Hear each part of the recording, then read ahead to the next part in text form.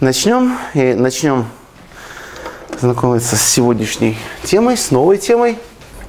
Теория потребительского поведения.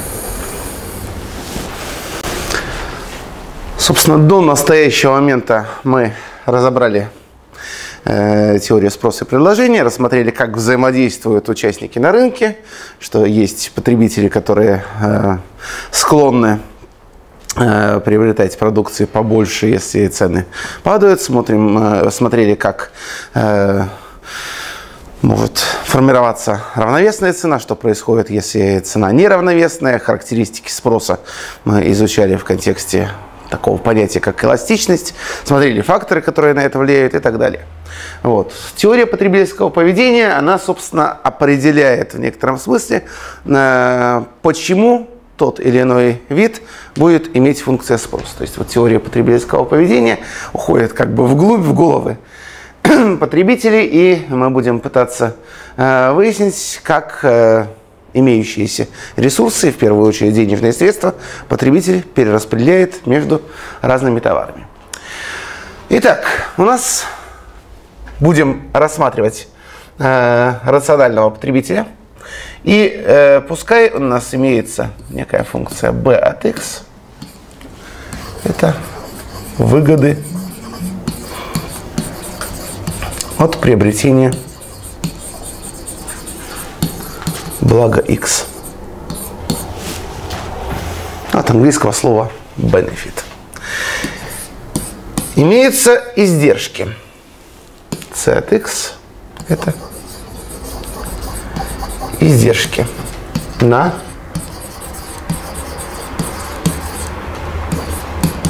приобретение блага x. Значит, что здесь следует отметить? Ну, во-первых, выгоды и издержки, они индивидуальны. Ну, с выгодами, в общем-то, вполне понятно, предпочтения у людей разные. То есть кому-то это благо X очень нужно, очень хочется. Соответственно, если они его получают, то у них э, вот эти вот выгоды будут очень большие. Другим людям Собственно, это совершенно не нужно. Здесь есть э, рациональная подоплека, потому что, например, человек, у которого плохое зрение, очки необходимы. Человек, у которого хорошее зрение, никакой выгоды приобретения очков не имеет. Есть какие-то э, особенности, которые не связаны вот так дословно э, с рациональными отличиями людей, потому что, например, коллекционер э, марок, он готов за какую-то редкую марку заплатить э, тысячи или даже десятки тысяч долларов, а для другого человека, который в этом ничего не сведет, э, это просто клочок бумаги, который ничего не стоит. Соответственно, вот такие вот отличия есть. По поводу издержек. Конечно, в первую очередь здесь мы рассматриваем денежные издержки. За то, что мы получаем некое благо, мы должны заплатить. Вот. Но э, отличия здесь тоже присутствуют. Например, если есть магазин рядом, и мы можем там за, заплатить за, за это благо, там, допустим, 500 рублей, а есть магазин, который находится далеко, э, и там этот товар может стоить 450. Означает ли, что человек поедет обязательно туда покупать за 450? Вовсе не обязательно. То есть, если это, скажем, пенсионер, у которого много свободного времени, но э, проблема с деньгами э, является достаточно критической, скорее да, чем нет. Если это человек, который достаточно хорошо зарабатывает, даже если у него там есть своя машина, даже если там, бензин и все такое будет э, стоить гораздо меньше, чем вот эти вот 50 рублей выгоды, тем не менее, потратив э, лишние полчаса, чтобы туда добраться и приехать обратно, за это время этот человек может заработать гораздо больше, и его э, рациональный выбор будет купить прямо здесь, но быстро. То есть в данном случае и издержки отчасти являются индивидуальными. Насколько, э, какие факторы являются главенствующими. Ну, опять-таки, мы можем сюда добавлять, э, кроме денег, времени, еще там какое-нибудь качество обслуживания. Кому-то все равно э, будут его облизывать с ног до головы или, наоборот, э, где-то обругают, что-то выскажут или, или нет. То есть, в этом смысле снова мы рассматриваем э, индивидуальное отношение к делу. Но вот для конкретного человека пускай эти величины сформированы. Что тогда является рациональным поведением? Условия рационального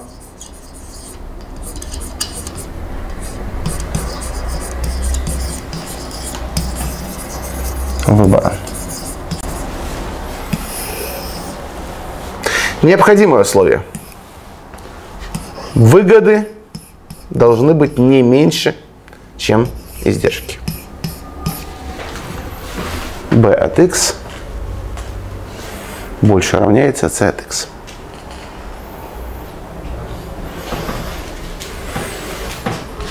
Ну, в общем-то, вполне логично. То есть э, в этом смысле мы не говорим даже про какие-то ограничения. То есть, в принципе, у человека может быть достаточно много ресурсов, но если он считает, что выгоды маленькие, издержки большие, он это благо не приобретает. А, второй пример.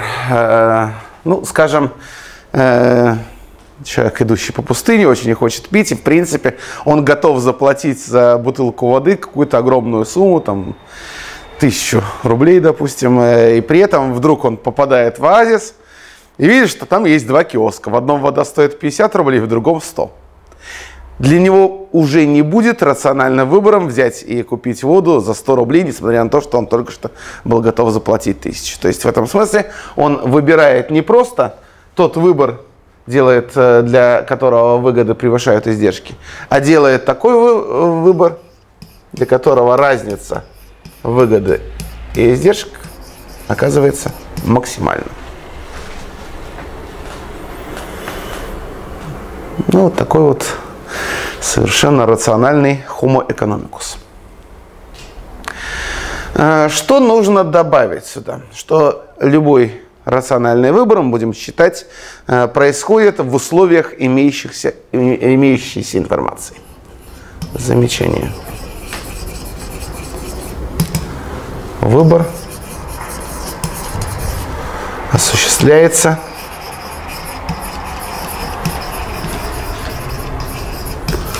в условиях имеющейся информации.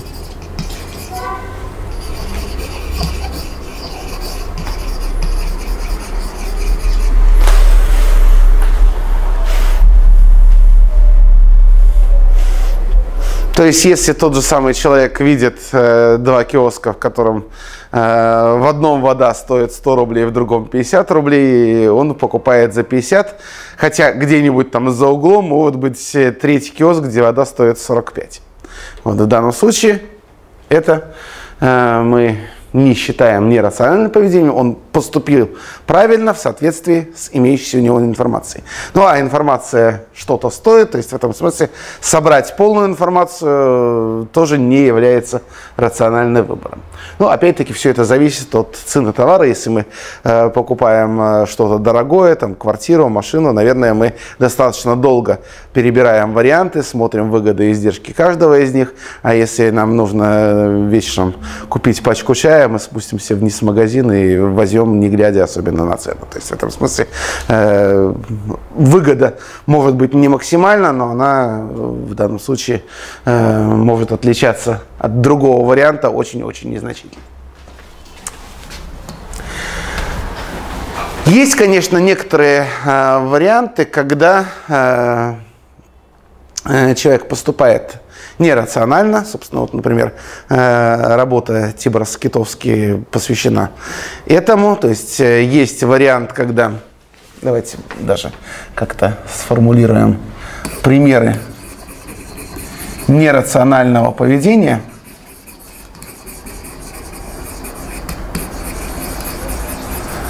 которые, тем не менее, изучаются экономической науке. Ну, первый пример. Мы предполагали, что э, потребитель в состоянии качественно оценить выгоды и издержки. На самом деле происходит, наверное, не всегда. Потребитель не в состоянии, не в состоянии качественно оценить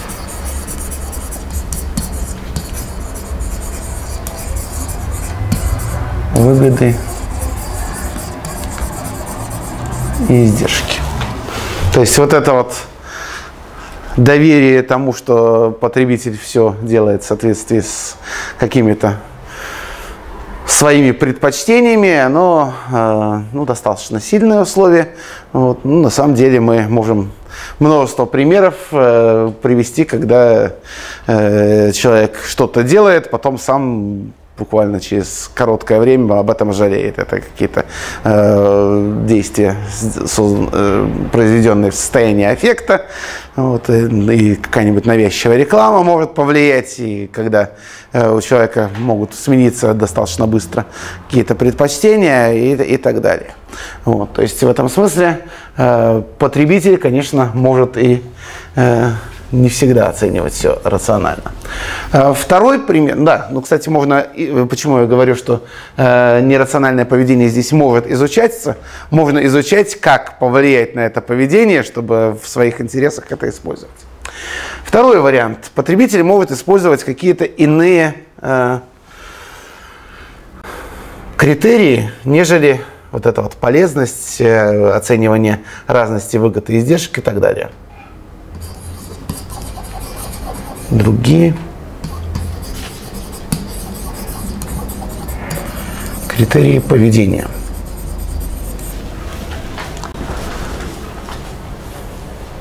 Ну, скажем, потребитель э, поступает в соответствии с имеющимися у него привычками, как он всегда делал, так и продолжает поступать. Вот хочет он, э, э, привык он каждый день там, в час э, ходить обедать. Да? Какой-нибудь определенный день ему этого совершенно не хочется, но он машинально приходит в кафе, заказывает блюдо, платит за, за них, э, там, поклевал э, два, два раза ложкой, все, отставил, тем не менее, сделка заключена, оплата произведена. То есть в этом смысле он э, приобрел данные товары, э, транзакция совершена, хотя это никоим образом не соответствует э, э, его рациональному как бы, поведению.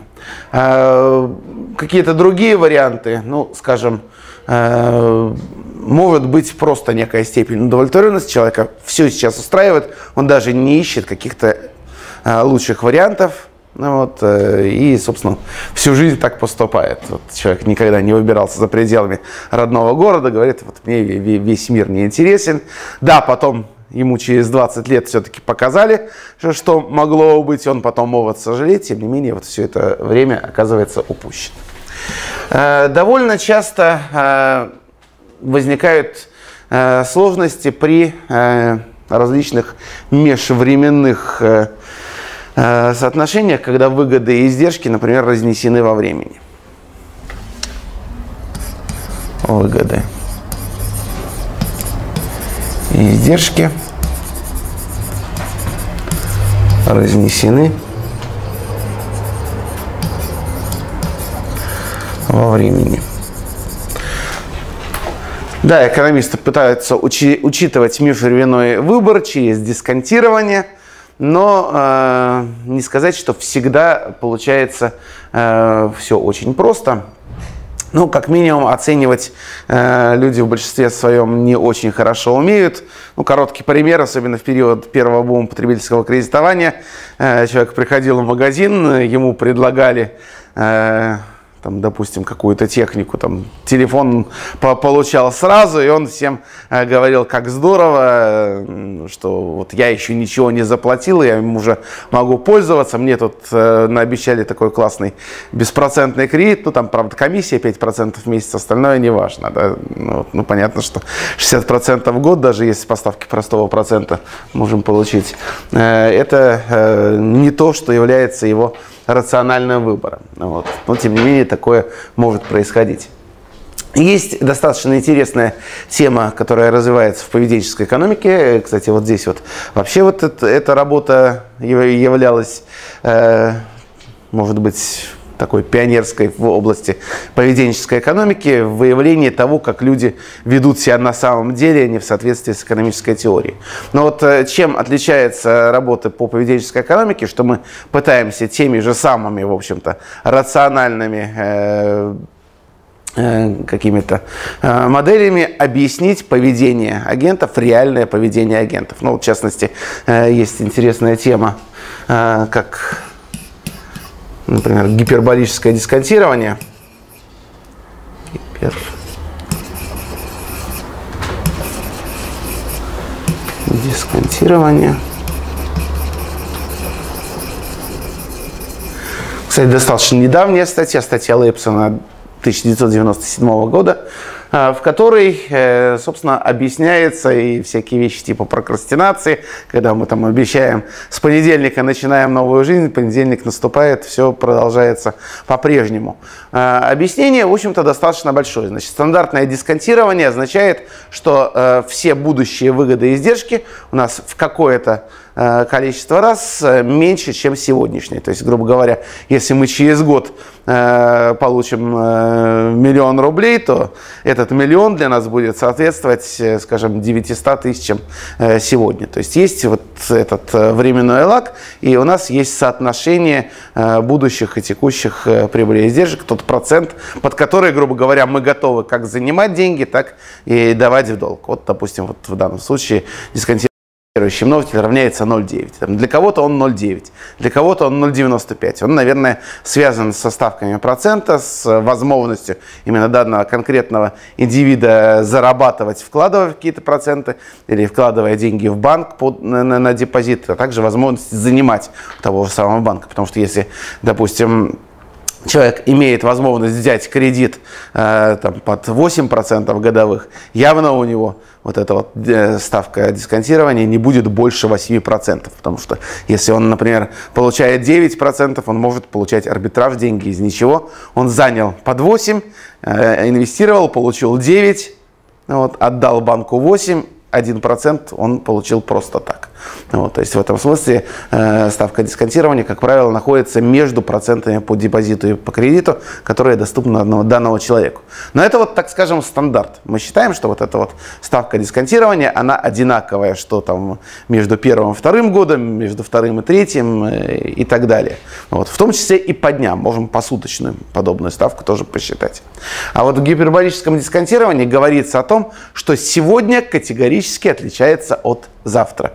То есть э, э, каждый человек, э, он именно сегодня выделяет среди всей последующей череды дней. Ну, собственно, вот простые эксперименты это достаточно часто показывают. Если человеку э, скажут, вот вы э, хотите получить там э, 100 тысяч рублей сегодня или там 110 тысяч рублей завтра. 10% в день это какая-то неимоверная ставка, которую ну, не то что банки не дают, никакой МММ не давал такой процент. Вот. Тем не менее, достаточно большой э, процент людей скажет, давайте 100 тысяч сегодня.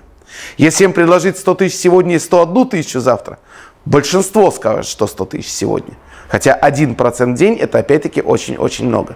И даже если мы там, э, ну понятно, что и 100 рублей дать завтра на 100 рублей больше, э, это одна тысячная, э, то есть одна десятая процента в масштабе э, года, это, в общем-то, э, вполне нормальный доход. Но вот здесь уже категорически все отказываются ждать день ради вот этих вот 100 рублей. То есть в этом, в этом смысле казалось бы, действительно нерациональное поведение, э, но э, люди вот сегодняшний день выделяют как особенный и хотят все получить сразу же. Если этим же людям предложить, что вы хотите, там 100 тысяч через год или 100 тысяч, 101 тысячу через год и один день. Те же самые люди скажут, ну давайте один день для меня не проблема подождать. Вот, и, собственно, те же самые люди сделают противоположный выбор. Вот сегодняшний день он выделяется среди всех особых. А это означает, что сегодняшний день нужно э, брать ну, с некой дополнительной премией. И вот на основе подобной модели мы можем э, получить э, достаточно красивые э, картинки, как себя люди будут вести. Вот в поведенческой экономике это достаточно плотно изучается. Вот. Но ну, вернемся, тем не менее, к рациональному поведению. Каким образом моделировать рациональное поведение? людей. Наиболее распространенный вариант, как мы это делаем, либо если мы говорим про графическое решение подобных задач, э, мы строим какие-то кривые безразличия, то есть множество наборов товаров, которые для человека все равно какие э, приобретает, то есть все эти наборы в некотором смысле равноценны. Либо записываем через функции полезности, каким образом э, в мозгах происходит вот это вот оценивание полезности. Начнем с кривых безразличия. Итак, наверное, кривые безразличия. В правой части буду писать, а то здесь совсем все солнечно. Итак, кривые безразличия. Давайте нарисуем простой вариант с двумя товарами. Значит, случай с множеством товаров, конечно, принципиально не имеет никаких отличий. Вот, но картинку более чем двумерную на доске э, рисовать неудобно. Ну, на компьютере трехмерную можно нарисовать, как-то повертеть, э, но тем не менее э, на доске, наверное, это не очень красиво будет смотреться, а с двумя товарами мы можем разобраться достаточно хорошо. Итак, вот в отличие от тех картинок, которые мы рисовали на предыдущих занятиях, когда у нас по одной оси была цена, по другой оси был объем продаж товара, здесь объем продаж двух товаров, которые мы э, хотим э, включать в наборы. Ну, давайте рассмотрим какой-нибудь простой э, пример. Допустим, пирожки и сок. Вот есть некий условный человек, у которого есть на данный момент в наличии, скажем, два пирожка и два сока. И вот только он решил пообедать, но к нему подходит его знакомый и говорит, вот у тебя два пирожка и два сока, а у меня что-то вот поесть сегодня вообще э, нечего. Не поделишься ли ты со мной одним своим пирожком? Но у нас же этот товарищ рациональный, Homo economicus, он во всем ищет некоторую выгоду и говорит, ну, я поделюсь, но я вот вижу, что у тебя тут э, сока много. Вот, если ты мне нальешь сока, ну, допустим, два стакана дополнительно. То есть, видишь, у меня пирожков мало останется, сока будет много, поэтому сок для меня менее ценный, чем пирожки. Но вот если ты мне нальешь два стакана, я тебе отдам пирожок, мне от этого хуже не станет. То есть, вполне возможно, что он готов поменять пирожки на сок соотношение 2 к 1. То есть вот точка Только ось у нас? Что? У нас ось сокоч. У нас ось это пирожки. Правая ось это пирожки. Да. Вот, и у него... А, э, да, да, да, да, да, да, согласен. Ага, да, здесь будет один, один пирожок и четыре сока. Да, совершенно верно. Первый, первый пример будет такой. Обратный тоже будет. То есть эквивалентно состоянию 1, 4. Да? То есть набор А и набор Б для этого человека одинаковы по полезности.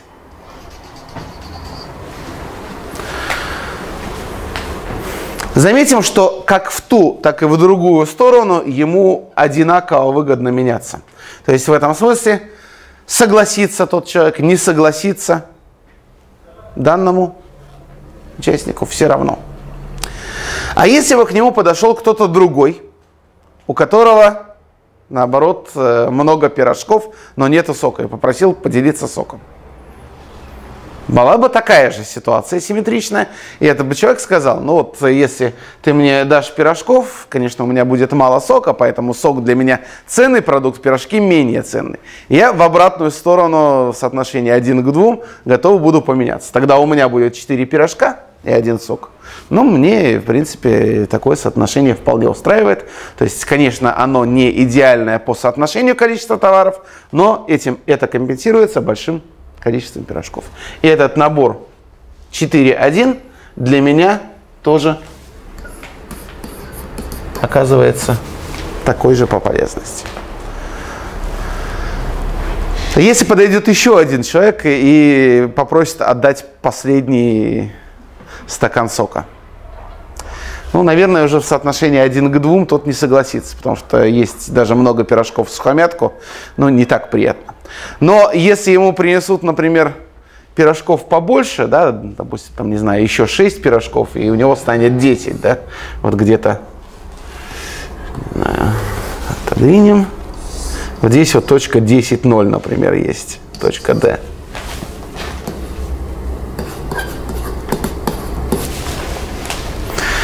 Он, может быть, готов будет на такой обмен, потому что, ну, Понятно, что ему не захочется есть их сухомятку, но он может сходить куда-нибудь в магазин, это его дополнительные усилия, его время, вот, но он готов будет это сделать, поскольку у него есть некая компенсация в виде большого количества пирожков.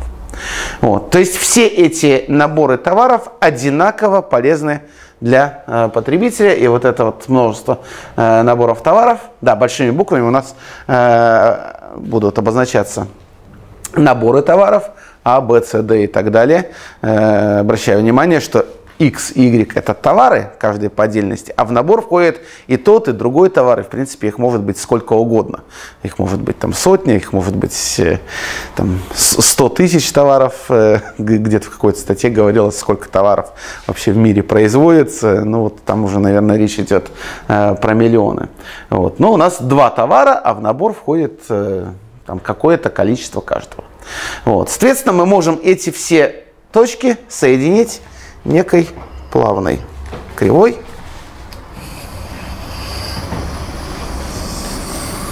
которая и будет называться кривая безразличия.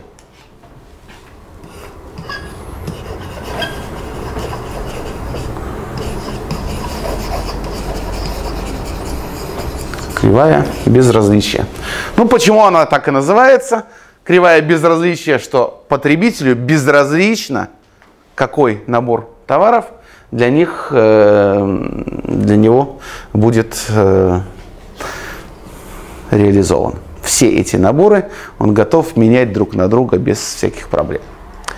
А вот давайте сравним набор товаров, ну, скажем, 4.1, если у нас есть, и набор 3.3. Набор, в котором 4 пирожка и 1 сок, и 3 пирожка и 3 сока. Что будет лучше?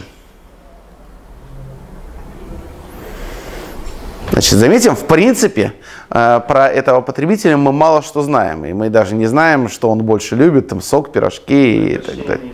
Предпочтение ну, почти неизвестно. У нас есть несколько точек, которые эквивалентны между собой. Да? Вот. Если бы там по двум координатам какая-то точка победила, то было бы понятно. Да. Но что мы знаем? Мы знаем, что точка 4,1, она эквивалентна точке 2,2. Да? Вот. А это означает, вот здесь вот так вот посередке попробуем вписать, вот. Это означает, если они эквивалентны, здесь у меня уже как-то так очень места не хватает, вот. 4,1 эквивалентно 2,2. 2,2 в свою очередь хуже, чем 3,3 по каждой координате. Да? То есть мы типично э, будем говорить, если говорить про простые стандартные предпочтения, больше это лучше. Вот. Ну и мы можем сказать, что набор 2,2 вот таким вот значком кривым знаком э, меньше, э, оказывается вариант, что набор 2.2 хуже, чем набор 3.3. Или наоборот, набор 3.3 лучше, чем набор 2.2. Предпочтительнее, как это часто называют э, экономисты. Вот. Э, собственно, для того, чтобы подобную операцию произвести, нам требуется два важных свойства. Свойства. Первое свойство – сравнимости. Сравнимости.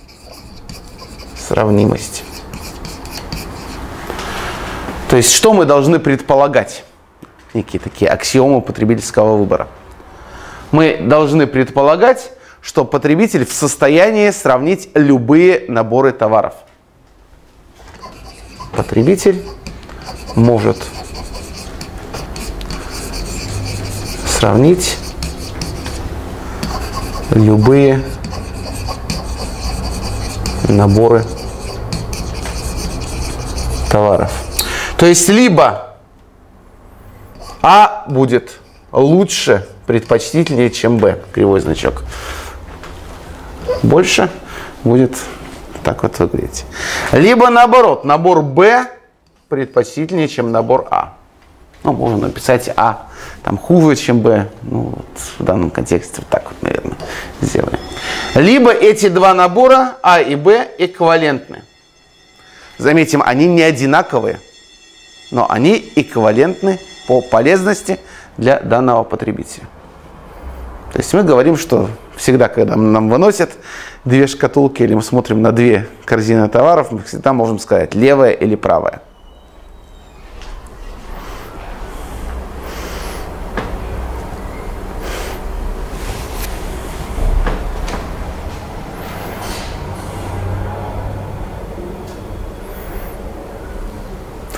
Заметим, что пока мы ничего не говорим про деньги, мы говорим только про желание. В этом контексте, э, ну вот такой вот вопрос. Есть, допустим, там голодный человек, который вечером возвращается домой, и ему предлагают там булка хлеба или там, не знаю, тур на Мальдивы. Вот. Да? Вы много знаете таких людей, которые сказали булка хлеба. Ну, вот, я, я вот как-то так, наверное ну, так, близкое к нулю, да. Вот. Самое близкое, что здесь было, меня спросили, а на Мальдивах кормить будут? Вот. Нет, на самом деле, понятно, что вроде как тур на Мальдивы обладает, ну, если человек в принципе хоть, хоть чуть-чуть склонен там, к каким-то путешествиям, э, он, э, наверное, все-таки выберет тур на Мальдивы. Вопрос, почему в реальной жизни мы хлеб-то покупаем, а не только на Мальдивы катаемся? Потому что дешевле, да, причем, ну, полезность Мальдивов там может быть там в тысячу раз э, больше, чем булка хлеба, а цена может быть там в две тысячи раз больше. И, соответственно, человек выбирает то, что относительно ему выгоднее. То есть важно не просто соотношение, что лучше, что хуже, а в соотношении с э, э, имеющимися расходами. Собственно, вот э, в этом смысле нужно разделять, разделять э, денежную составляющую и составляющую э, полезности. Вот здесь мы говорим только про полезность. Если, грубо говоря, предлагают бесплатно или предлагают за одну и ту же сумму, вот, э, что человек выберет. Вот я, если человек выбирает булку хлеба в приведенном примере, это означает, что он только что отказался от тура на Мальдивы за 30 рублей. Вот. Ну вот э, в таком контексте, наверное, э, так скажем, и еще более явно, что таких людей ну, очень-очень мало. Вот. Второе свойство, которое должно выполняться, вторая аксиома, это транзитивность.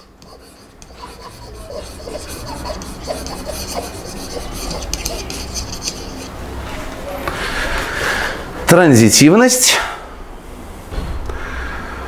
которая как раз говорит, что от предпочтений между двумя наборами товаров мы можем переходить к соотношению любых наборов товаров, то есть мы можем к третьему, к четвертому и так далее по цепочке переходить к любым другим. Ну, собственно, что мы сделали здесь? Мы не знали, что лучше, 4.1 или 3.3, потому что пирожков здесь больше, но сока здесь меньше. Но мы, если знаем, что 4.1 и 2.2 эквивалентно, это первоначальное наше предположение было, а 2.2 заведомо нам тут и знать ничего не надо, что это хуже, чем 3.3, то, соответственно, и 4.1 хуже, чем 3.3. То есть, если мы нарисуем на этой картинке, то набор 3.3 будет правее и выше. И на самом деле у нас не есть ни одна единственная кривая безразличия, а бесконечное множество таких кривых безразличия – как это опять-таки часто называется, карта кривых безразличия.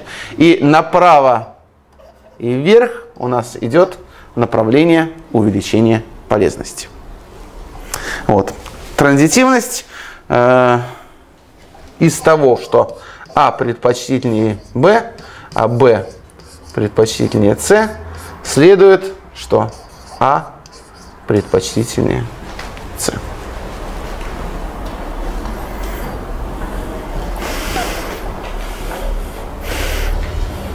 Для товаров обычно это предполагается. Э, а вот, допустим, когда мы говорили про коллективный выбор, это уже не всегда является правдой. Ну, понятно, что э, вместо предпочтительнее здесь может где-то стоять эквивалентно. Если А предпочтительнее Б, а Б эквивалентно С, то все равно А предпочтительнее С строго. Если А эквивалентно Б, Б эквивалентно С, то А эквивалентно С. То есть, в принципе, можем любые другие вот эти вот значки здесь указывать. Ну, я все варианты переписывать не буду, их достаточно много. Можно не писать. Что? Да, да. Ну, здесь вопрос, как это понимать, э, вот, потому что э, если у нас два эквивалентно, то должно быть эквивалентно. Если у нас э, какой-то из них выполняется как строго предпочтительнее, то здесь будет строго предпочтительнее. Вот.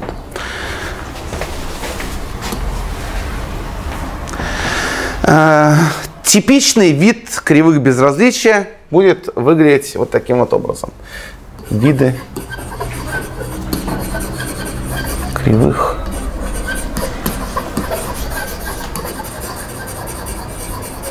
безразличия.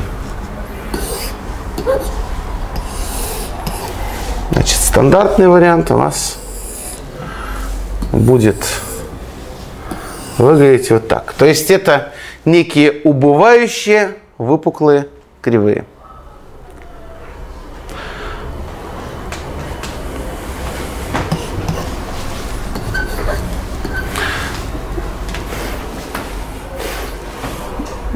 Ну, логично увидеть, что это что-то очень похожее на гиперболу. Гиперболы здесь часто и возникают. Хотя, конечно, можно моделировать их любыми другими зависимостями. Вот это вот вид э, для независимых товаров –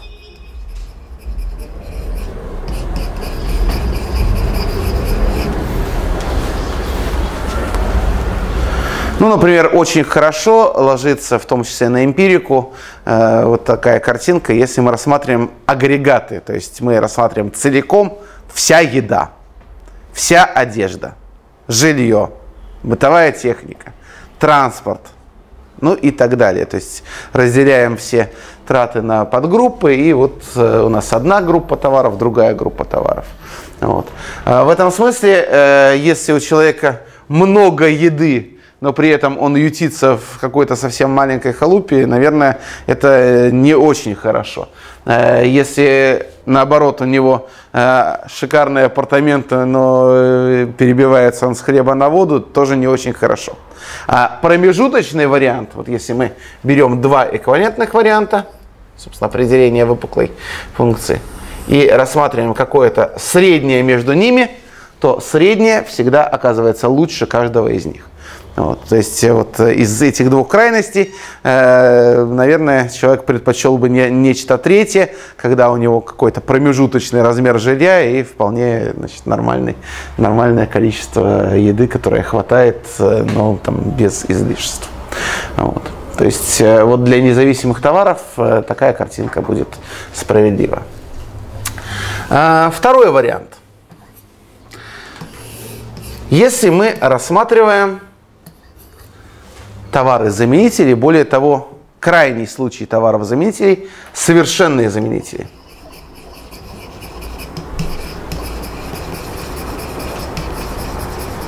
Совершенные заменители. А, что такое совершенные заменители? Это два товара, э, между которыми потребитель вообще никоим образом не делает разницы. Вот э, большинство, например, э, людей, если им просто в обычные стаканы налить пепси-колу и кока-колу, на вкус не отличат одно от другого. Хотя люди могут говорить, что я вот там предпочитаю э, какой-то один из них. Вот. Кто-то чувствует, кто-то нет. Вот если мы возьмем человека, который не различает, что для него тогда? Для него тогда эти два товара попросту эквивалентны. То есть ему важно количество, но не важно, какой из э, э, напитков э, будет.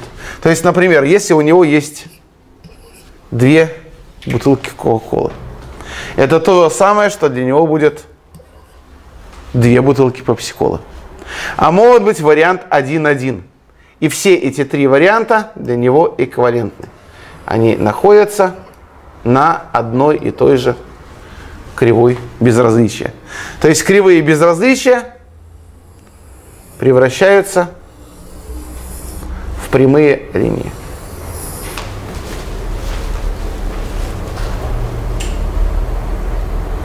Опять-таки направление увеличения полезности здесь идет вправо-вверх. Здесь то же самое. То есть если у него есть три любых бутылки, то это лучше, чем две. Опять-таки мы здесь не говорим, что это в полтора раза лучше, чем две. А 10 это не в пять раз лучше, чем в две. Но это просто лучше.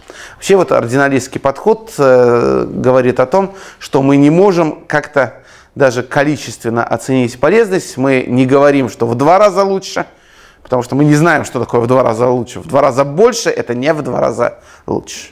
Даже с деньгами такое не проходит, потому что если у человека есть 100 тысяч, э, и есть вариант, что у него есть 200 тысяч, 200 тысяч – это не в два раза лучше, потому что есть эффект э, предельной полезности. Если у человека вообще последняя тысяча до зарплаты осталась еще неделя, на нее нужно прожить, там каждая копейка дорога. Если у человека там хорошая зарплата, он получает 100 тысяч, то для него тысяча э, имеет значение, но гораздо меньше уже. Ну, а если человек там является каким-то миллиардером, то, наверное, для него уже это значение совершенно атрофировано. Вот. То есть мы не, не говорим, что это в два раза лучше, в три раза лучше, в десять раз лучше. Просто лучше. Но мы можем заменять один, друг, один товар на другой, э, ну, в общем-то, в вполне неограниченно. Главное, что выполнялось вот это вот соотношение. Кстати, вот э, первое предположение о том, что у нас э, эти кривые безразличия тогда превращаются в прямые линии, идущие под 45 градусов. Всегда ли будет так? Всегда ли будет под 45 градусов? Да, то есть мы можем, например, взять разные размеры бутылок. Мы возьмем двухлитровые и по 0,5, да, даже от одного и того же напитка. И, соответственно, тогда у нас, если по X э, откладываются бутылки по 0,5 литра, тогда соотношение будет 4 к 1. 4 бутылки по 0,5 литра для нас эквивалентны одной бутылке двухлитровой. Значит, здесь 0,5 литра, а здесь 2 литра. Здесь будет только одна. А если у нас 8 по 0,5, то это эквивалентно двум двухлитровым. Или эквивалентно четырем по 0,5 и одной двухлитровой. То есть по-прежнему прямые линии, но которые уже идут с другим наклоном. Такое тоже может быть.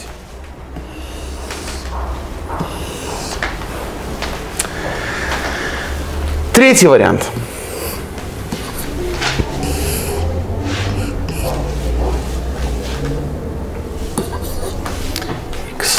Y. Значит, здесь у нас были совершенные заменители, а на третьей картинке мы покажем ровно противоположный случай. Это совершенные дополняющие товары. Совершенные дополняющие товары. Те товары, которые идут в комплекте, более того, человеку совершенно бессмысленно покупать один товар без другого. Ну, э, дополняющие товары это вот то, что, скажем, там, не знаю, телефоны, какие-то аксессуары к нему, автомобили и бензин. Вот. Ну, э, понятно, что если совершенные заменители это то, что дословно все-таки присутствует э, в реальной экономике, то есть многие люди не чувствуют разницы между какими-то вариациями товара. Э, с дополняющими товарами все чуть посложнее, вот, ну, потому что э, тот же самый автомобиль и бензин. Вот нужен ли нам бензин, если у нас нет автомобиля? Ну, вроде казалось бы нет, но э, если у нас, например, есть много бензина, ну, по -по пошли там продали соседу, да, у которого есть автомобиль. Или просто подарили ему, мы чувствуем, что нам от этого полегчало на душе, мы сделали какое-то хорошее дело. Вот. Ну или если рассматривать рационалом, может быть, он после этого начнет к нам лучше относиться, или он там, не знаю, накормит тортиком, э, поможет нам сделать там какую-нибудь работу и так далее. То есть в этом смысле э, есть возможность альтернативного использования товаров. Вот. Но вот если бы, например, обувь продавалась по отдельности правые ботинки и левые ботинки, то, наверное, тогда это были совершенно дополняющие товары. Ну, если мы э, говорим про обычных здоровых людей, вот. Но такого все-таки у нас не происходит. Пример, который чаще всего здесь как-то возникает, это, например, там лыжи и ботинки. Да? Э, вот если человек хочет покататься на горных лыжах, если у него есть один комплект, то есть одни лыжи и одни ботинки, то он сможет это сделать сам э, в одиночестве будет кататься. Но при этом, если у него есть там, на балконе вторая пара лыж, третья пара лыж, четвертая пара лыж, и вплоть до того, что весь балкон заставлен лыжами, у него полезность от этого не увеличится.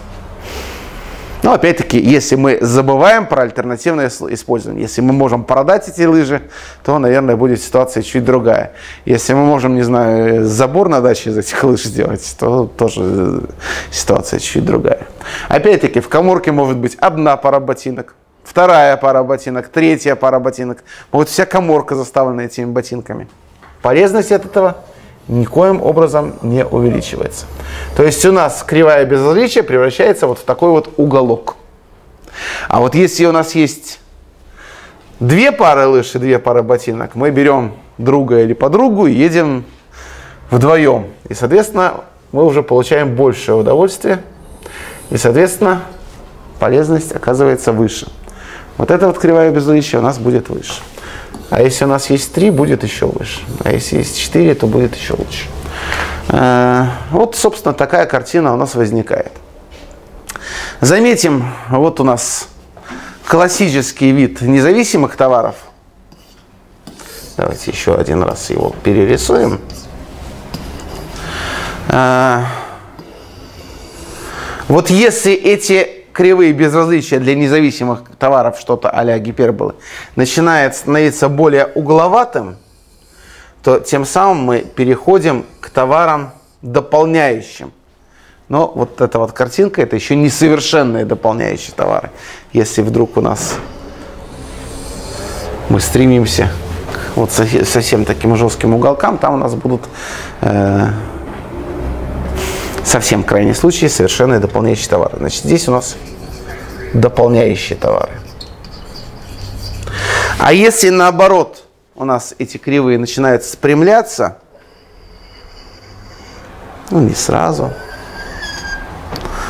ну и в конце концов они превращаются совсем в прямые, то вот в этом направлении идет как бы приближение к э, совершенным заменителям. Ну а здесь у нас просто будут заменители. Какой-нибудь чай и кофе будет находиться здесь. А два сорта кофе будут находиться еще выше. А если у нас два сорта кофе таких, что потребитель на вкус не отличает один от другого, то, соответственно, мы сходимся к вот такой вот картинке. А, что мы можем так вот на вскидку сказать, э, что будет делать потребитель? Если у нас независимые товары, то заметим, что э, потребитель будет покупать каждый из них, то есть для него выгоднее э, более такой взвешенный набор, где есть и то, и другое. Но вот в каком соотношении мы это чуть попозже посмотрим. А вот если у нас совершенные заменители, ну вот представим себе, что человек не делает разницы между там Pepsi Cola и Coca-Cola, заходит в магазин, один напиток стоит 40 рублей, второй стоит 50. Что он делает? Он покупает на все деньги, которые он выделяет на данные два товара, ровно тот, который дешевле. То есть здесь оптимум будет находиться э, в угловой точке. Для совершенных дополняющих товаров он всегда будет стремиться выделить э, вот это вот правильное соотношение, которое вот здесь вот в уголках находится. То есть вот сильно не отклоняться, потому что э, понятно, что любое отклонение не увеличивает полезность, но э, несет дополнительные затраты. Оптимум всегда будет находиться в угловых точках. Значит, это по поводу варианта, э, вариантов, которые ну, довольно часто рассматриваются. Бывают другие варианты, бывает, например, безразличное благо, которое не приносит полезности дополнительной. Вот, то есть э, человек получает его в большем количестве, но ему совершенно все равно, есть оно или нет. Бывает антиблаго, которое несет отрицательную полезность, что-то, что человеку не хочется, но тем не менее ему, например, в нагрузку это предлагают. А, бывают варианты ну, совсем каких-то странных предпочтений, там лексикографических предпочтений, когда у нас э, есть один товар, один... Сначала мы смотрим э, какого э, вот этого первого товара в наборе больше, в первом наборе или во втором. Если в первом наборе больше, тогда первый набор уже заведомо лучше, на второй мы вообще не смотрим. Если наоборот в наборе Б этого товара больше, тогда набор Б лучше. И вот только если у нас одинаковое количество, тогда мы смотрим какой-то второй э, товар и так далее. Но вот в потребительском поведении это используется редко, а, допустим, если мы говорим про э, коллективный выбор, опять-таки, там это встречается довольно часто. Ну, опять-таки, в том же спорте часто мы определяем победителя, допустим, кругового турнира по э, количеству там, очков, которые заработаны, или там, количеству побед. А вот если у нескольких команд одинаковое количество очков, тогда у нас э, вступает в силу какой-то второй показатель, там разница забитых, пропущенных и так далее. Вот, то есть вот там лексикография, э, лексикография представлена довольно сильно. Ну вот можно рассматривать и такие варианты, но это уже более развернутый курс. Другой вариант описания предпочтений функции полезности.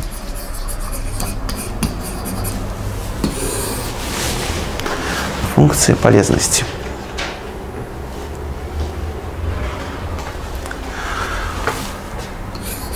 Что мы будем говорить?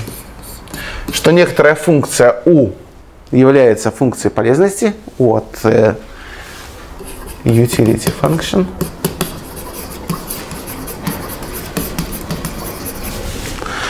Э, что эта функция является функцией полезности тогда и только тогда, когда выполняются следующие свойства.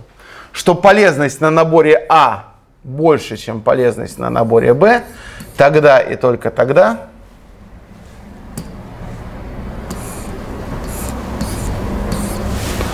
когда набор А предпочтительнее набора Б. Аналогично. Функция полезности на наборе А меньше, чем функция полезности на наборе Б, тогда и только тогда, когда набор А, наоборот, хуже, чем набор Б. Ну и наблюдается равенство полезностей –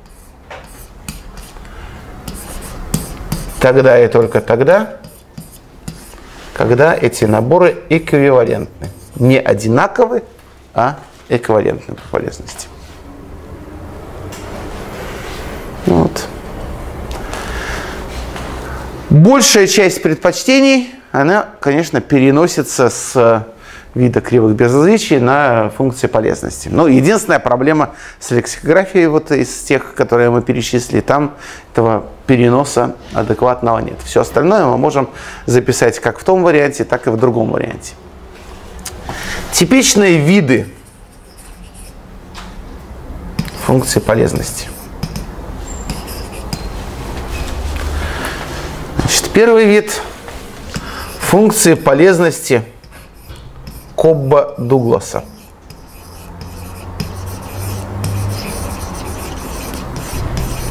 Ну, я буду писать для двух товаров. Понятно, что это экстраполируется на любое количество. Причем здесь нам уже не мешает э, выход там, в трех, четырех и так далее мерное пространство. Мы можем математически записать все, что угодно. Итак, полезность имеет следующий вид. У нас будет А умножить на x в степени альфа на y в степени бета.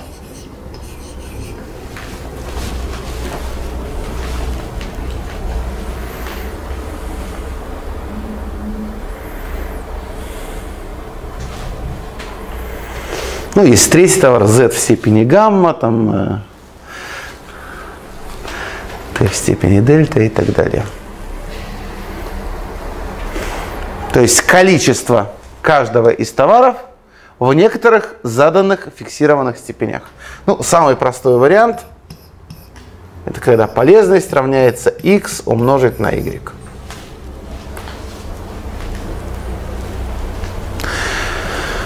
Что это за коэффициенты альфа и бета? Это в, смысле, э, в некотором смысле ценности того и другого товара. Э, вопрос в каком смысле? Э, ну, чуть попозже, конечно, лучше было бы давать, когда мы записали бы математические задачи потребителя. Но пока просто можно это принять как данность, что альфа и бета – это те доли, в которых потребитель будет желать разделить свой бюджет. Доли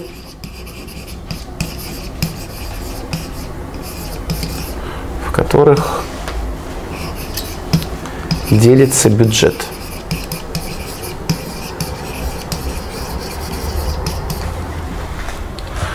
Доли, в которых делится бюджет. То есть, если у нас x умножить на y, функция полезности, мы ровно половину денег будем тратить э, на первое благо, ровно половину на второе. Половину на x, половину на y. Вот. Заметим, что количество может быть разное. И в этом смысле, э, если мы говорим про количество, ну вот, допустим, у нас есть два блага, там, не знаю, спички и квартиры, да? Э, чего мы покупаем в жизни больше количества? Наверное, спичек в коробках, да? Но на что мы тратим э, больше денег? даже не в разы, не в десятки, не в сотни, а там, в сотни тысяч раз, наверное, за жизнь мы тратим больше на недвижимость. То есть в этом смысле будет очень большая степень именно при недвижимости. То есть это доли, в которых делится бюджет, а не штуки, сколько мы того и другого блага покупаем. Второй вид. Ну, если мы рассматриваем совершенные заменители, у нас там кривые безличия были прямыми линиями, что это означает? Это означает, что у нас э, функции полезности должны быть линейными. Да? То есть прямая линия у нас из линейных функций получается. Линейные функции полезности. U равняется А на X плюс B на Y, ну и так далее. Если у нас товаров больше, будет плюс C на, на Z, плюс D на T и так далее. Но опять-таки самый простой вариант функции полезности уравняется x плюс y. В варианте количества бутылок напитка одинакового размера, да, э, у нас будет именно вот такая вот функция. Нам не важно, что мы покупаем Pepsi Cola или Coca-Cola, нам важно суммарное количество напитка. Если мы рассматриваем случай, когда у нас бутылки разного размера, например, X в пол-литровых, Y в двухлитровых, у нас полезность может означать суммарное количество напитка в литрах. То есть будет 0,5x плюс 2y. Это тоже пример линейной функции полезности. Соответственно, А и Б Э, ну, в данном случае это количество э, товара в единице, да, ну, а в общем случае не обязательно будут там литры или килограмм, это может быть что-то другое. В общем случае это ценность единицы каждого блага. Ценность единицы блага.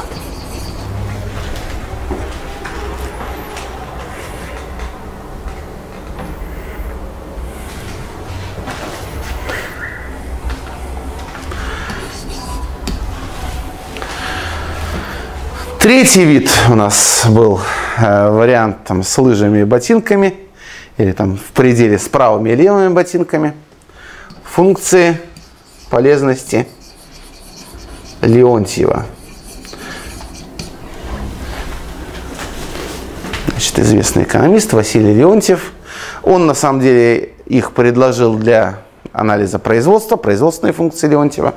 Вот. Ну, в потребительском выборе это тоже могут запросто использоваться.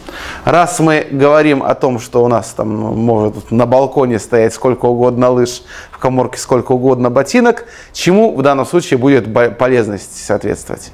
Минимальному из этих двух чисел. Минимуму из количества лыж и количества ботинок.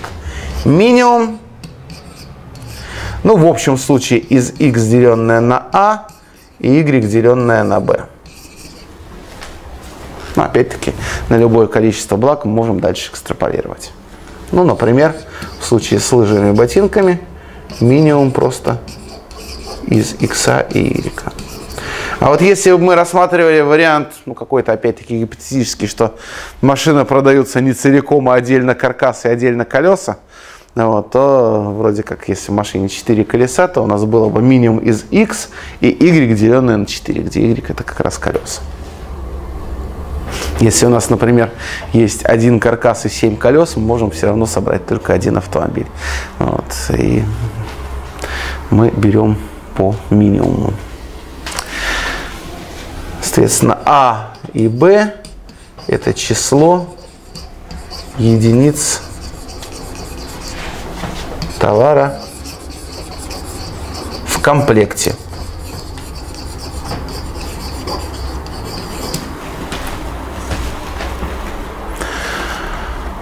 Вот эти три вида, которые используются довольно часто, а, можно рассматривать иногда еще и ну, вообще видов функций полезности, понятно, что очень много. Вот, но из тех, которые часто встречаются, по крайней мере, в базовых и промежуточных курсах микроэкономики, можно еще добавить квазилинейные.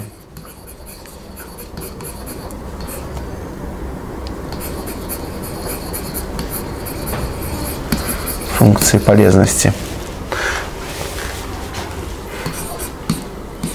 Значит, если мы рассматриваем линейные функции полезности, то у нас u равняется ax там, плюс by, линейная функция. А квазилинейные – это линейные по одному из показателей. Значит, у нас будет просто f от x, совершенно любая здесь уже функция. А вот по y она будет линейная, f от x плюс, плюс y. В этом смысле, что у нас часто происходит, Y может выступать в роли денег. Ну, некоторая критика теории потребительского поведения от не особо следующих людей говорит о том, что как же так, вот вы во всех задачах говорите, что у вас выделяется определенный бюджет, и вы тратите его на товар X, на товар Y, там, на товар Z и так далее. И оптимум у вас всегда достигается, когда вы потратили все деньги вообще. Вот. Ну как же так в реальной жизни мы можем там оставить там, на будущее и так далее, и так далее.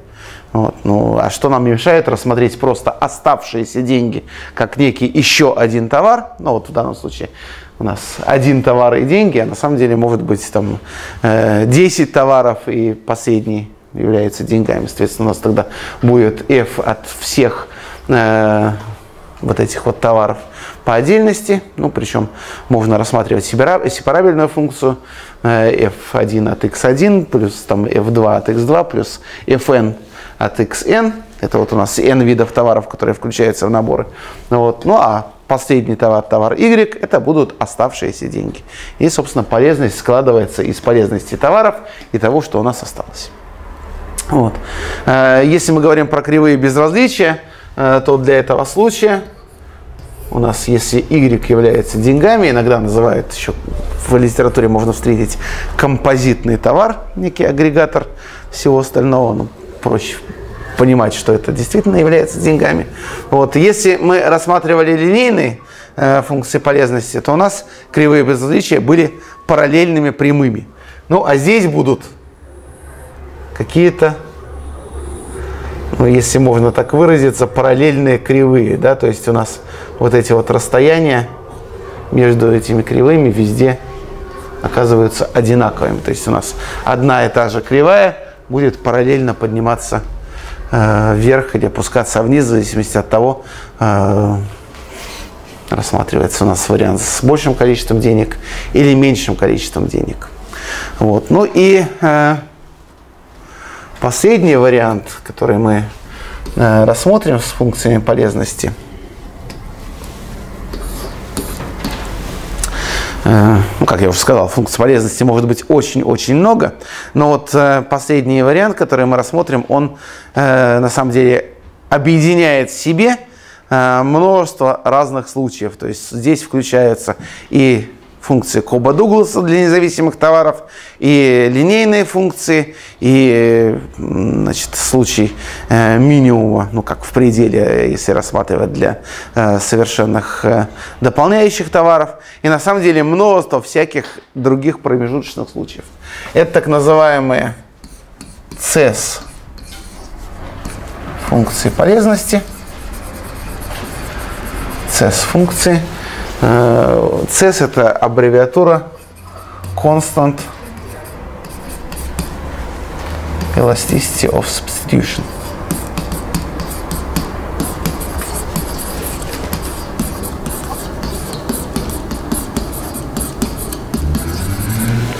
То есть постоянная эластичность замещения. Вот мы говорили про эластичность спроса по цене, по доходу, по каким-то другим факторам. А здесь эластичность замещения одного товара на другой. То есть понятно, что мы хотим э, э, взять и э, заменить э, один товар другим, каком-то соотношении. Но помним, что у нас вот в том примере соотношение менялось. Да? Когда у человека было много сока, он готов э, был э, поменять имеющийся сок на пирожки в соотношении 1 к 2. Э, если у человека было, наоборот, мало сока, он готов был поменяться только в соотношении 2 к 1. То есть у нас э, разные вот эти вот э, величины были. Вот. А эластичность при этом могла быть одной и той же. Да? То есть у него, он готов увеличить потребление одного товара на 10%, э, другого у него сокращается количество на 10%. Вот это означает, что у нас эластичность равняется единице, да? то есть там процентное отношение. Если у него какого-то товара очень мало, то понятно, что 10% будет совсем маленькой величиной, другого много, и, соответственно, это увеличение должно быть тоже достаточно большим в абсолютном выражении. Вот. Так вот, собственно, э, есть функции, которые описывают предпочтение, где у нас будет эта эластичность э, замещения постоянно. Не обязательно она будет равняться единице, может равняться двойке, тройке, 0,5, она может быть совершенно разной. Как выглядит такая функция? Функция выглядит следующим образом. У нас будет, ну, в общем случае, наверное, альфа 1 на x1 э, в степени ро плюс альфа 2 на x2 в степени ро плюс и так далее, плюс альфа n xn в степени ро. И все это в степени единица, деленная на ро. Ну, я сразу написал случай для произвольного количества товаров. Не для двух, а для n. Ну, если для двух, и в простейшем случае еще одинаковых коэффициентов, у нас будет x в степени ро плюс y в степени ро в степени единицы на ро. Заметим, что если ро равняется единице, что у нас получается? Альфа 1 x 1 плюс альфа 2 на x 2 плюс альфа n xn. Но никакие ро здесь единицы на ро не будут. Это просто линейные функции. Будут у нас совершенные заменители. Если ро равняется нулю, ну, понятно, что мы не можем дословно здесь вроде как записать 0, но мы можем посчитать предел. Если осуществим соответствующее преобразование, вот, там, по правилу Лапиталия раскрытие происходит, то мы можем получить, что в пределе э, вот эта вот формула э, как раз и даст нам значение x э, первое в степени э, альфа 1 умножить на x2 в степени альфа 2 на xn в степени альфа n. То есть у нас будут независимые товары и функция Коба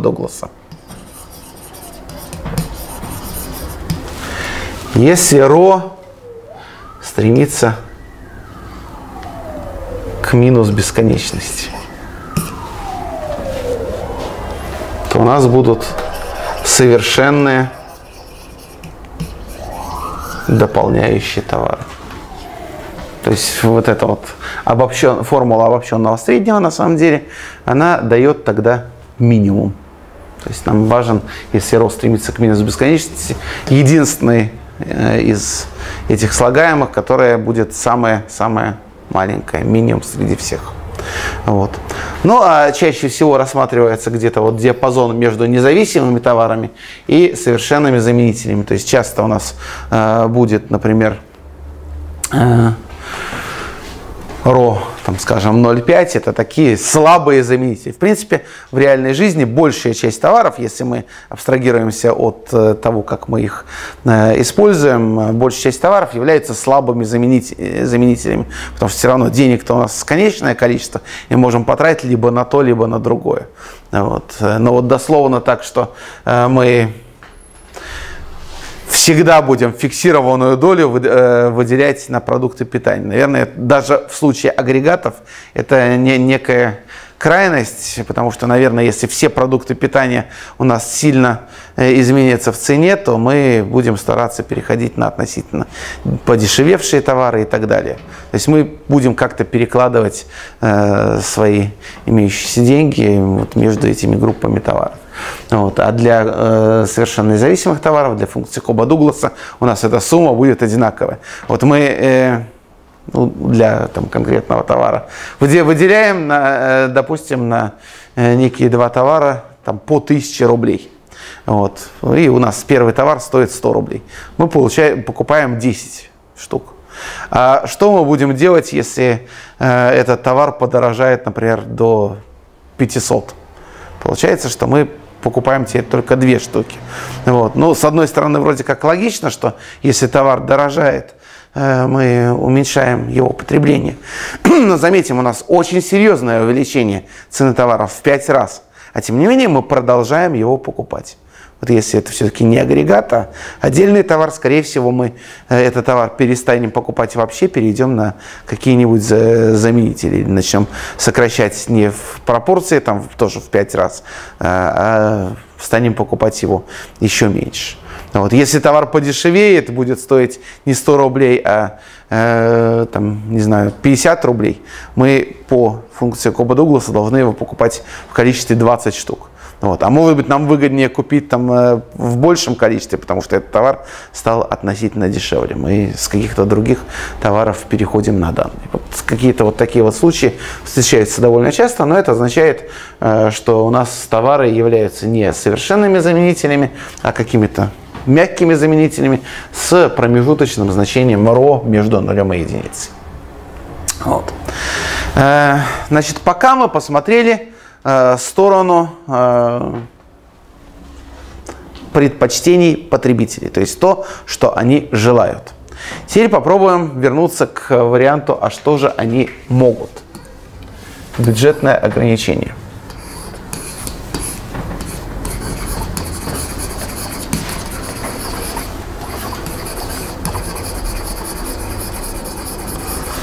Бюджетное ограничение. в утиль нам уже придется ввести и цены, и те деньги, которые имеются у потребителя. Пускай М это бюджет. Ну, что такое в данном случае бюджет? Это сумма, которая выделяется на рассматриваемые товары. PX и PY это цены.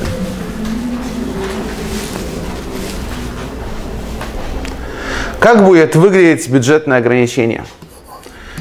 Если мы умножим цену на объем потребления товара, цена товара X мы умножим на количество X, что мы получим? Мы получим ту сумму, которую человек потратил на данный товар. Товар стоит 100 рублей, мы купили 10 штук, 100 на 10 мы потратили 1000 рублей.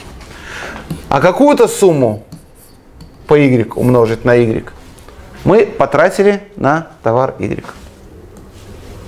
И что нам известно? Нам известно, что эти деньги, которые мы потратили и на то, и на другое, не должны превышать нашего бюджета. Нам должно денег хватить. Э, при этом, если у нас рассматривается более-менее стандартное предпочтение, где нету антиблаг и подобного рода артефактов, э, у нас э, вот это вот неравенство выполняется как строгое равенство. Графически, что мы можем сказать? Опять-таки для простого варианта линейного ценообразования, когда цены фиксированы по x и по y, вот у нас количество товара x, вот у нас количество товара y, сколько по максимуму мы можем купить товара x? У нас сумма m, цена px, соответственно, m делить на px. Сколько мы можем купить товара y? Симметрично.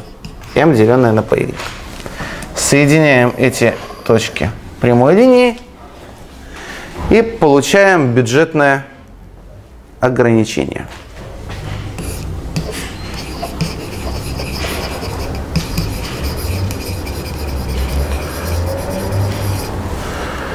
То есть все, что находится под этой прямой, для нас доступно.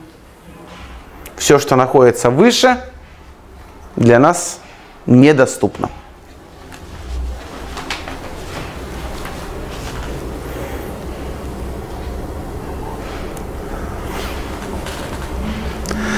А если мы на этой же картинке изобразим кривые безразличия? Ну, вот, допустим, у нас какие-то обычные стандартные предпочтения. Вот нарисовали одну кривую безразличия.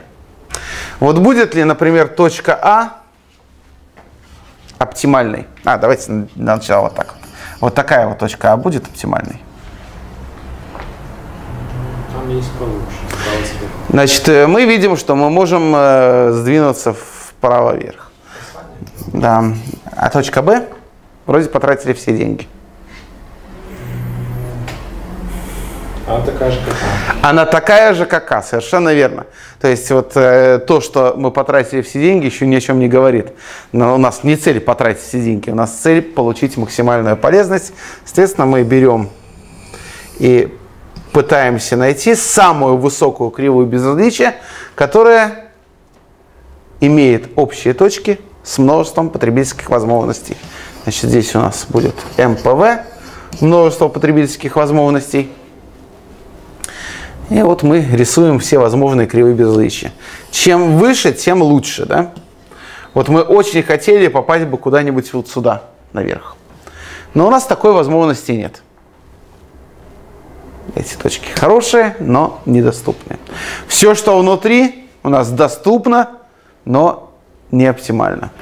А вот точка касания у нас в данном случае, значит, заметим, не всегда это будет точка касания – вот, но довольно часто э, это тот результат, который мы в данном случае можем назвать оптимальным потребительским выбором. Почему не всегда у нас будет точка касания?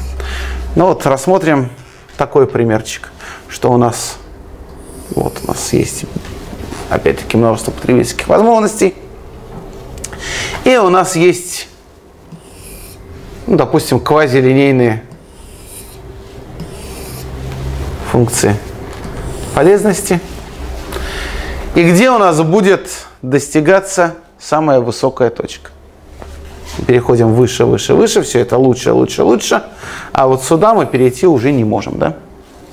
Соответственно, оптимум у нас будет достигаться в угловой точке. Угловой точки тоже может быть. Вот. Э, ну, а если говорить про чуть более сложные э, варианты бюджетных ограничений, то тогда эти ситуации э, случаются у нас еще более часто. Ну, собственно, давайте по-быстрому разберем некоторые э, дополнительные э, варианты. Особые виды ограничений. После перерыва мы их на задачках разберем. А сейчас просто сформулируем. Особые виды ограничений. Значит, первое – это жесткое ограничение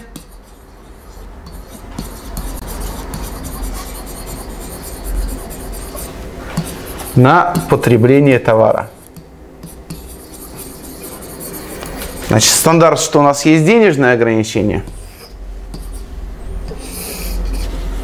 И оно, ну, сейчас изобразим пунктиром, оно выглядит вот таким вот образом – ну вот представим себе, что у нас какая-то жесткая распределительная система. там, талоны, как в Советском Союзе, и мы не можем приобрести товара больше определенного количества X-max.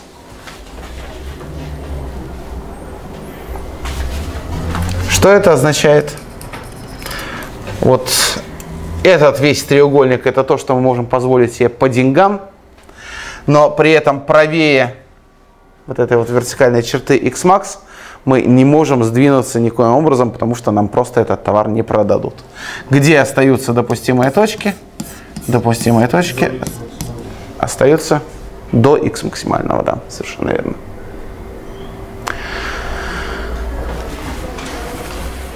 Вопрос, кстати, всем ли плоха э, талонная система? Или есть люди, которые вполне довольны там, тем, что она вот так вот функционирует? Есть, конечно. Вот. Ну вот, допустим, у нас есть э, такое вот ограничение, там, не знаю, талоны на колбасу, да? Ну, понятно, что есть вегетарианцы, для кого э, колбаса не представляет ценности. Но даже люди, которые потребляют колбасу, ну, например, больше любят какие-то другие товары, у них э, точка касания может находиться э, вот здесь вот наверху, и видим, что мы никоим образом не э, мешаем потреблять э, этим людям колбасу в том объеме, в котором они хотят. Да? То есть они просто не хотят в большом количестве. Вот. А вот если у какого-то другого человека оптимум достигается вот здесь,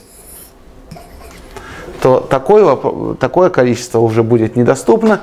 Человек будет вынужден перейти на более низкую ступень потребления, и он перейдет в данном случае абсолютно точно в угловую точку. Второй вариант. А, льготное потребление небольшого количества товара.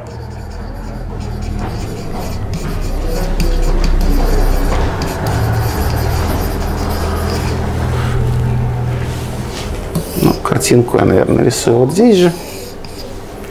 Снова x y.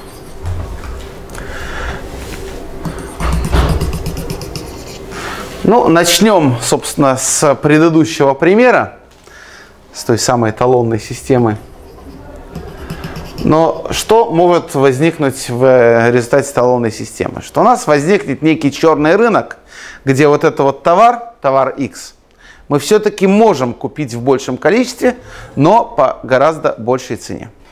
Да? Что это означает?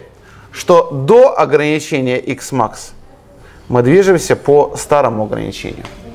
А вот дальше цена начинает резко увеличиваться, потому что мы хотим теперь купить э, товар э, в большем количестве, чем нам это официально разрешено, и официально нам его не продают, но где-то из-под полы за дополнительные деньги мы его покупаем. А раз цена будет э, больше, то это означает, что у нас наклон оказывается более крутым. Да?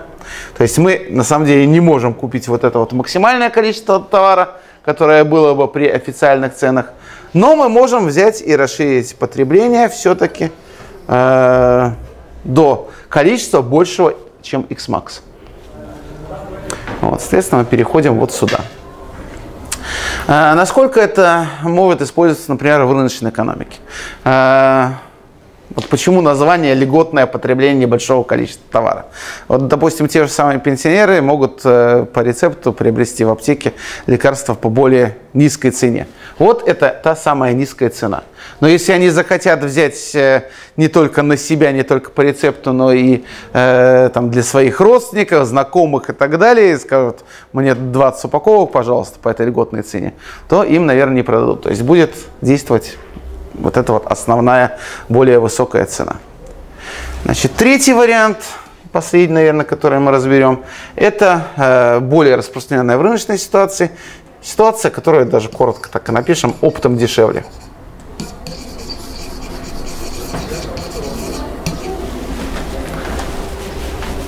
Значит, здесь мы видим, что у нас наклон увеличивается. Цена при большем потреблении становится выше. А в варианте оптом дешевле, ну, само название говорит, что если мы приобретаем количество товара большее, чем некий разрешенный минимум, мы переходим с розничных цен на оптовые. Вот в данном случае у нас наоборот будет называться x минимальное. Это минимальный размер оптовой закупки. Значит, до этого уровня у нас действует цена, которая достаточно высокая, да? А если у нас покупки осуществляются в большем количестве, то, э, соответственно, у нас цена становится более низкая. И на левом участке мы будем двигаться вдоль этого ограничения, а дальше мы будем двигаться вдоль более высокого ограничения. Что мы здесь, кстати, наблюдаем? Мы наблюдаем некий скачок вверх. Ну, а если у нас есть мелкая оптовая цена, крупная оптовая цена, может быть, здесь еще более низкая цена, вот где-нибудь здесь мы можем перейти еще и на крупную оптовую цену.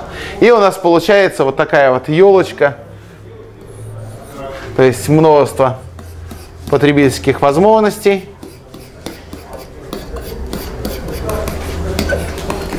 Оно будет вот такой вот лежащей на боку елочки.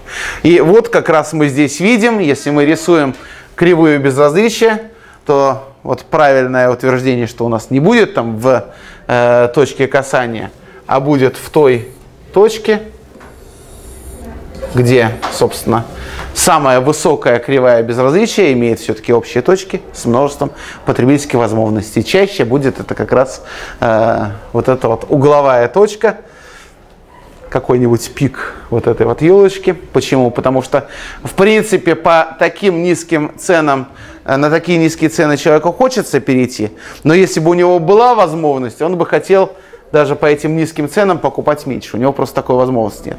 Но он хочет получить эффект от оптовой цены, но, соответственно, он будет стремиться перейти сюда. Ну вот на этом мы сделаем паузу и уже после перерыва продолжим.